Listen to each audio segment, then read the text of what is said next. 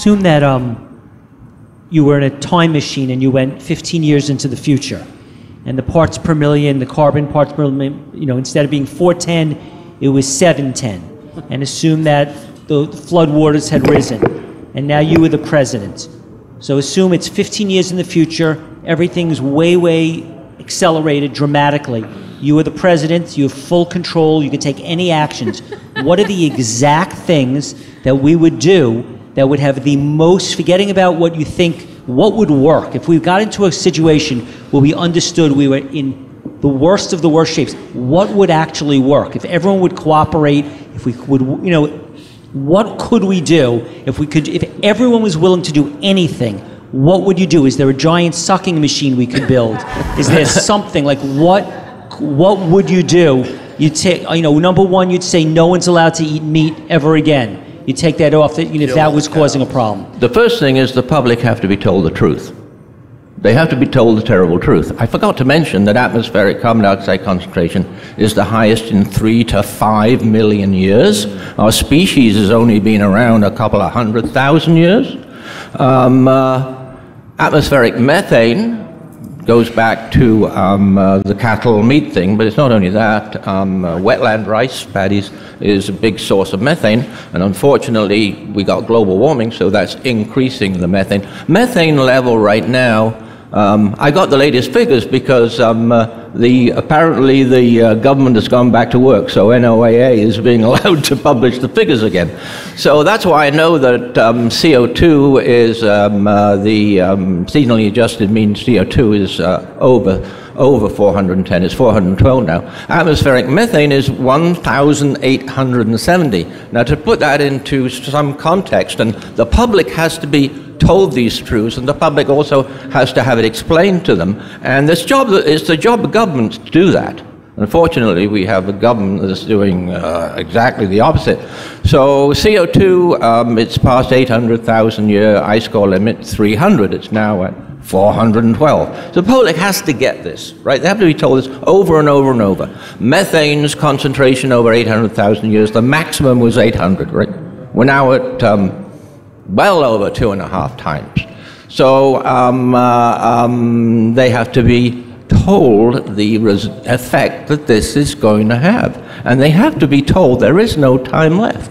It's very clear from the uh, last assessment from the IPCC. Um, uh, the IPCC gave us numbers as well, and that was a very good thing that they did, right? The media picked it up. Um, uh, and what it means is that um, uh, by 2030, right, CO2 emissions have to be cut in, uh, cut in half. 45% 2010 have to be cut in half. That has to happen. Um, and uh, the other interesting thing that wasn't picked up that I can share with you is that the IPCC worked out the amount of reduction of each particular fossil fuel by 2050 so that um, uh, we could keep um, the global surface temperature uh, hopefully below 1.5 degrees C by 2100, but the way they put it was it'll overshoot a bit and maybe then we can bring it down. But they said that we had to, um, uh, fossil fuel emissions had to be, uh, no, fossil fuel energy on average had to be reduced 86% by 2050. So the, the numbers, I think, have to be gotten out there as well. And that, because it's scientific proof, I, I agree with your point about the, uh, uh, about the state of the science, but um, uh, fossil fuel age has to be ended. Right. and uh, soon. Right. Well, you were saying we got to 700 parts per million or something like that, which wouldn't happen in 15 years. But if we got that far, um, you know, we're in deep doo-doo at that point. And as, at that point, do you say, okay, geoengineering? Now, I cringe at that because of the law of unintended consequences. But if you're at 700 parts per million, maybe this is the time where you say, okay, I'm going to send a fleet of airplanes out there and I'm going to seed the stratosphere with lots of sulfate aerosols to simulate a whole bunch of volcanic eruptions. Boy, I'd hate to do that because of the law of unintended consequences. I could imagine a world where CO2 levels are really high and there's so many aerosols in the atmosphere I can't see to the end of the room, okay? But if we got to 700 parts per million, where do you go? Drastic action at that point. Yeah, you're right. And, and, we need a we need a, a, a, global climate and oceans Manhattan project, right?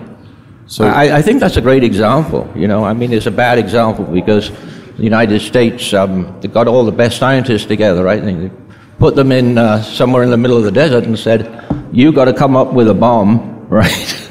And they only had they only had formulae to start with. You know, they had nothing. You know. Uh, it was it was it was a very nasty thing to do, but it was it was a brilliant achievement. It was absolutely amazing. Surely to God we can do that, you know, and put all the experts together in one place and say, we're going to pay you lots of money. You can have all the resources you want. Okay, just um, come up with the cutting edge, the very best renewable energy, and some safe, predictable method to get some CO2 out of the atmosphere. It, it, it's going to take that. Hopefully, the military will, uh, will, will, will push some sense into the present government.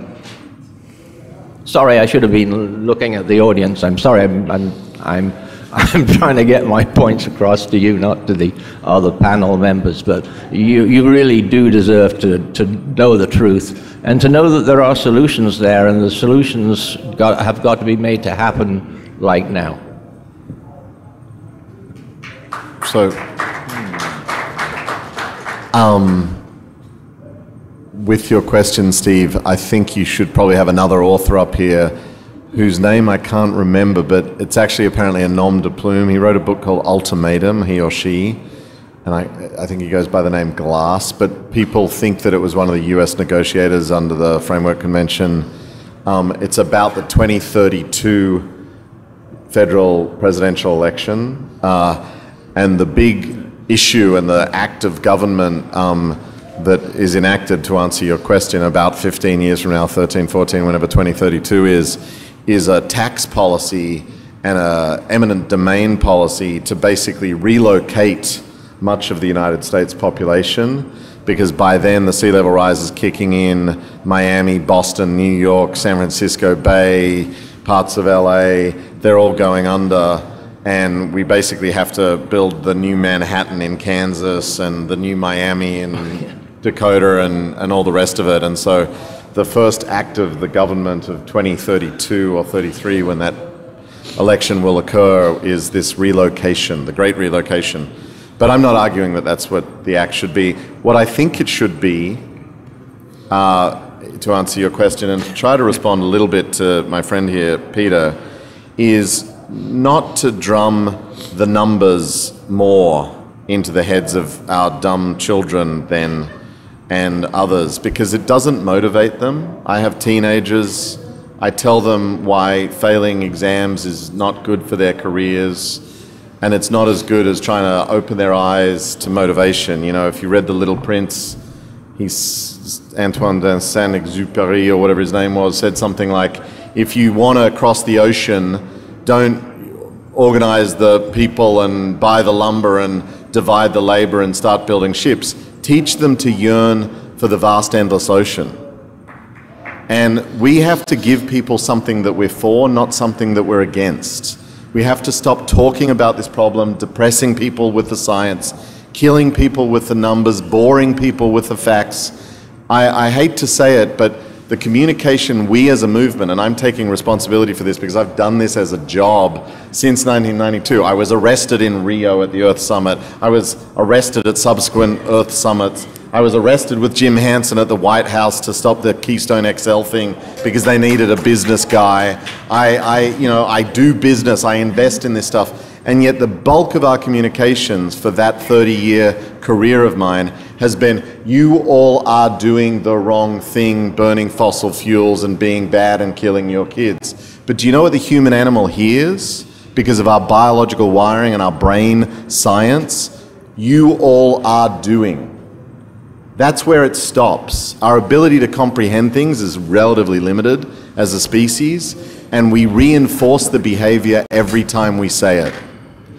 If we were saying, you all are building the solution, you are all doing the right things by lightening your footprint, by lowering your meat consumption, by adopting those solutions, by buying solar, by voting for the Green New Deal, by doing these things, you might actually give, give this millennial generation some hope rather than despair, some opportunity rather than dismay, something to live for rather than just to go up and die for. I'm sorry, but I feel like we sound like a bunch of old people who have got to that stage in our lives where the young kids are all screwed and we've screwed the pooch ourselves and we're sort of owning it and we're not giving any future to anyone. And I that is the greatest shame on us because it is incumbent on us as people of privilege and power, which we have. We author books, we do lectures, we do this stuff to provide answers, not problems. With respect for your um, superior criminal record to mine, um, we are fighting.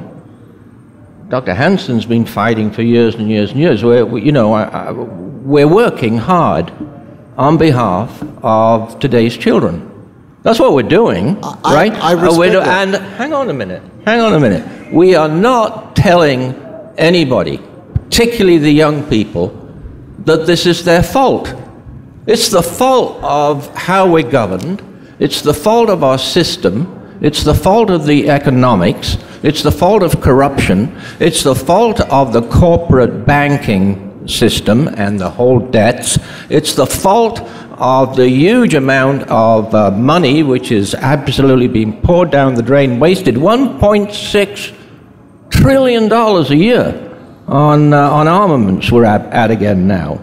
So no, no, no. Um, uh, I think I, I think we're all doing the right thing. I don't think we're doing the wrong thing by telling the public the truth and demanding that these changes are made and they happen quickly. I don't think we're instilling despair into people. I mean, if I thought that for a minute, I'd quit. And, and by the way, I'm, I'm, a, I'm a medically qualified doctor, so I've heard this argument, okay? I spent my life in medicine, right? Um, people don't, they're not like deer. People don't go into despair when they're told that they have a sort of overwhelming or life threatening situation. That's not what human beings do. And our whole history is that we rise to challenges that seem to be overwhelming and impossible, and we overcome them, and we succeed and we prevail. And after 200,000 years, here we are, you know, discussing about how to save the planet. I hope you're right. I, I will say, in, in a hopeful sense, I'm again speaking as an educator, uh, what you see at, like at University of Colorado is this is environmental studies is this huge program now. Everyone wants to get into it, um, and this is uh, uh students who are you know 22, 21 years old who have never known a time when there wasn't a climate change debate. And they're all into this. They're all very interested in this and, and increasingly aware of the issues, and they're coming in droves to be studying this thing. So there is hope. In terms of the internet, um, if I'm looking 15 years ahead, I would want to say no to 5G, no to fifth generation of wireless infrastructure, no to the Internet of Things where we are flooded with machine to machine communications. And then in the, you know, how would I phrase that um, affirmatively? I would say, I have enough. We have enough. And I don't know how to teach that, but that's the concept. Just one comment on that. Um, I don't think we can tell India and some other parts of the world that you can't have more because they're in pretty uh, low status. And I hope that there are not going to be, that there is not I, I think that there is potential in innovation to do things more energy efficiently. I, you're, you're, I'm wondering about your silicon because are we going to be using silicon 20 years from now, or do we have some uh, other ways of doing the numbers, which is going to be a lot more energy efficient? What is it? Uh, Graphene. pardon? Graphene. Well, yeah, or even uh, uh, other, what is it when you're doing the molecular, the, uh, yeah, anyway, I thi, I, think that, that it's not going to be more and more silicon, I hope. Uh, And, and that, and that we will find ways, but we have to have the, I'm broken record, but we got to have the incentives to find those ways. Uh, But I think we can do it. Uh, and I think young people need to be challenged to be doing that. Uh, they- but they do have to know what the situation is, too, so we have to be honest about that. At the moment, as I understand, we're manufacturing 10 times as much silicon for solar panels than for electronics. Most of the production is happening in China where there are essentially no regulations whatsoever in terms of the emissions, like I, the ones I read to you from New York State smelters. Um, I also just read about a month ago that there are now some bi, um, biodegradable transistors. I don't, I don't know what they're made from. I just know that they're being made, and I don't know. It's like you're, you're going to be able to buy things for less than $10 and they'll biodegrade. But I am so suspicious because just this constant consumption of more and more things is, i- it's just a problem, e- even if it does biodegrade. But I, it's, I, I don't understand it. It's more than I understand. The, the, I'd like to say that the burning of coal has to be prohibited. Um, you know, I don't like to mention this, but I, I mean, all the wind turbines and everything, they're being made by burning coal. That's how they're being manufactured, right? And um, uh, yeah, um, I, I, I hear it about, you know, India and, and China, and um, my God, I'm a Brit, you know, we haven't treated the, those countries particularly well. Um, but uh, the first people, and they're, su- they're doing it already, the first people to suffer from climate change are the poorest people in the poorest countries, right? So um, uh, uh, we, c- we just can't continue burning coal. That's out. I mean, that is causing the deaths of millions of people a year from air pollution. When global warming gets worse, it's going to increase that air pollution. So we do need a ban on coal. We must prohibit the burning of coal. Uh, if that continues, there, there, there's, I mean, there, there's no future, right? So I wanted to comment on, um, I do believe it is time for solutions. And Dr. Hansen, Dr. Serreze, everybody here has done work on sounding the alarm and telling everybody, telling the world how much danger we're in. And that's really very important work that everybody has done. And I think that it's very much appreciated that, that this has, work has been done, but we have to work now on solutions. Uh, We've, we've, as, as was mentioned, we've been talking about this since 1992, actually before. My co-author wrote a book in 1972, and they already knew that burning carbon could cause global warming. And they, he talked about global warming in his book in, ni- in that, at that time, or perhaps he published it in 1973 or 4, I can't remember the exact date. So we've known it, and, but we have to, how do we motivate people now to, to make this energy transformation that we need? We have the fossil fuel in industry that is entrenched, that is receiving subsidies. It's not like the last turn of the century when people were on horse and buggies and the Ford Model T came out from the assembly line and everybody jumped and jumped onto the Ford Model T and we had a transformation in 13 years or less. We, we have a different um, market today. So in World War II, we decided to fight fascism. We were debating whether to be involved, and then we got bombed by Pearl Harbor. eh, eh, Not by Pearl Harbor. Pearl Harbor got bombed um, by the Japanese, and that motivated, uh, motivated everybody to act. I think Steve has been talking about, well, how, in some sense, his questions to me are, how bad does it have to get before we're going to act? Uh, Hurricane Sandy didn't do it. Um, um, the other hurricanes haven't done it. These forest fires in California, where we had horrible forest fires that are apocalyptic forest fires. Um, British Columbia was burning. We had burning in in Alaska. We were burning in um, Nordic countries in in Sweden, uh, yep. was it Sweden? You know, places you can't. I, we, I went up to try to get away from the fires in California to the San Juan Islands for the summer, and and there was, you know, we had bad air because of forests burning in British Columbia. Okay, so that's not enough. Apparently, that's not motivating us. Apparently, Wall Street being flooded isn't enough to, to get us acting. California is moving on this. That's awesome. Um, uh, New York has passed some laws in New Jersey for 100% electricity, Hawaii for 100% clean electricity. Actually, Hawaii is, I believe, 100% renewable. Uh, the other states are for clean, um, clean electricity. But what, what do we need to do now?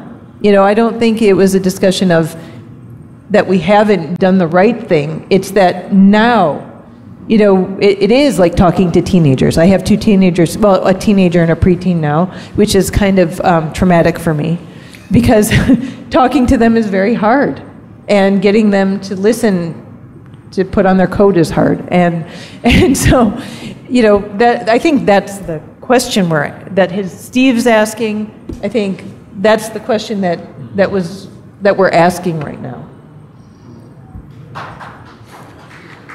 Well, let's assume that everyone is motivated. Um, We've been very clear that you were saying that we need a carbon fee to um, recognize the true cost of what carbon is doing to the atmosphere. I'm saying, and I think you're somewhat agreeing, that we should, that eating animal products, stopping eating animal products is another thing that people can do that would contribute positively. Um, Katie is saying that we should reduce consumption of everyone. You're all sort of saying to stop subsidies for fossil fuels.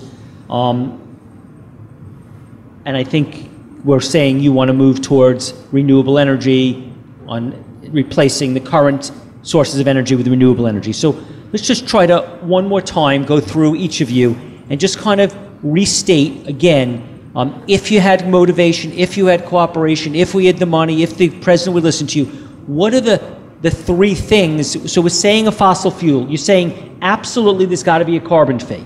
And we're saying absolutely we should not eat animal products? Are we saying we should only eat organic because that would reduce chemicals? Like, what are, assuming we have the motivation, what are the action steps that you want us or the president to take?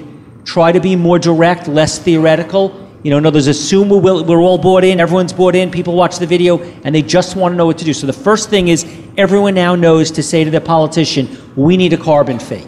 They know they're supposed to eat less animal products. They know they're supposed to say no more subsidies for um, fossil fuels. Um, what else clearly are you saying are the three things that you would like, three things that we should all make sure to do or tell a politician to solve this?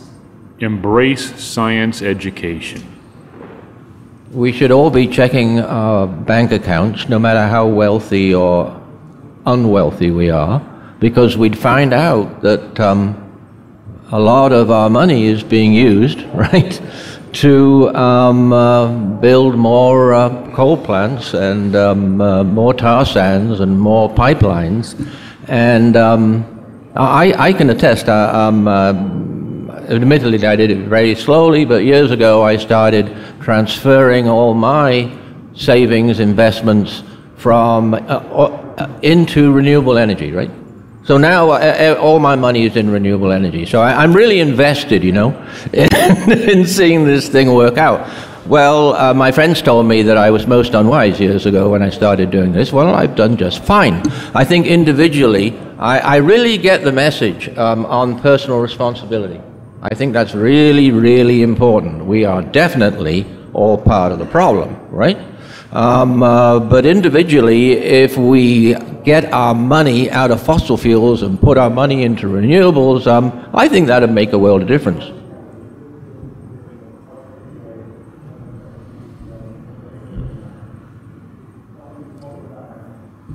You're, look, you're looking at me? Any, anyone that would like to comment on what I had said? I can say one of the worst things you can do is download a video wirelessly in terms of energy consumption.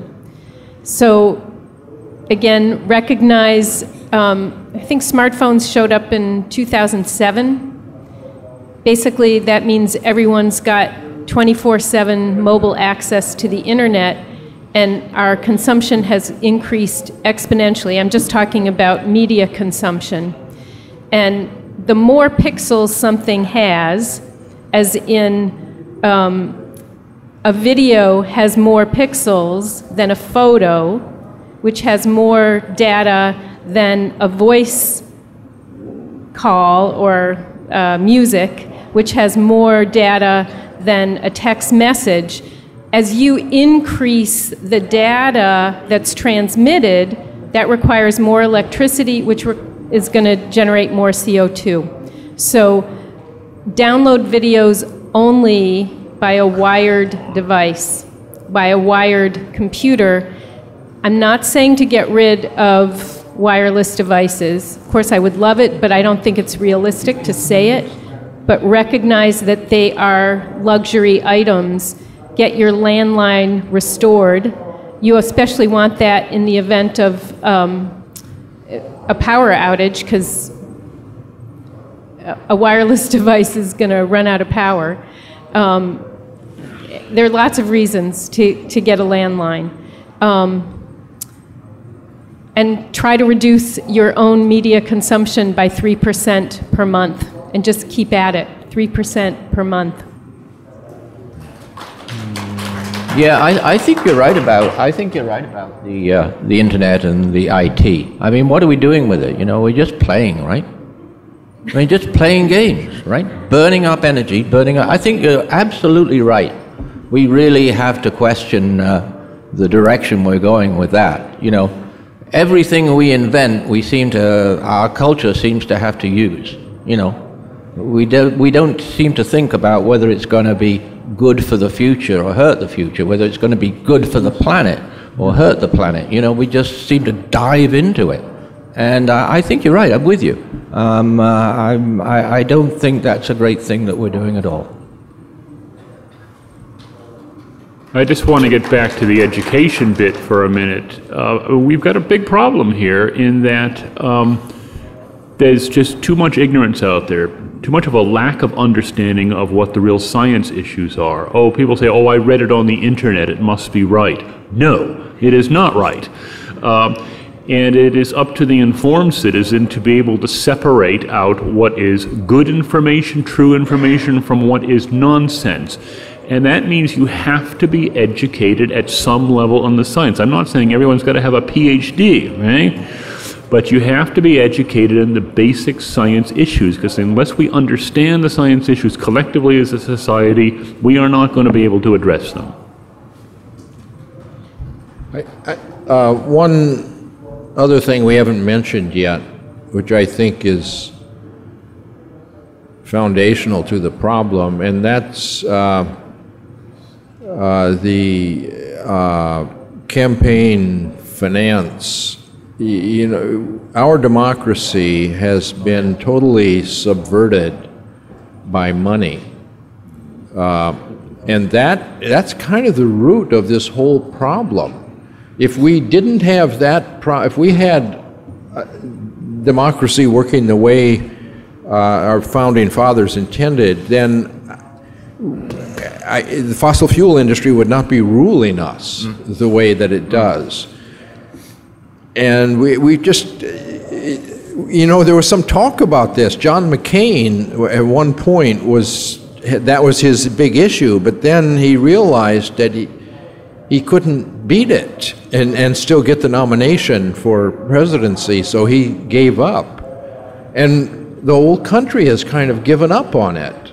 Uh, it's, uh, it's a very fundamental uh, problem, which uh, I think we have to, have to address. I totally agree with you. You're absolutely right. It is, it, it, it is fundamental to um, our, our, destruction of the future and the planet.